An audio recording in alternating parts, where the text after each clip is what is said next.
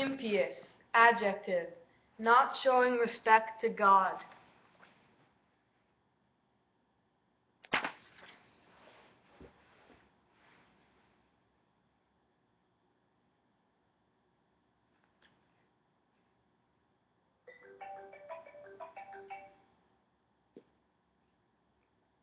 Hello?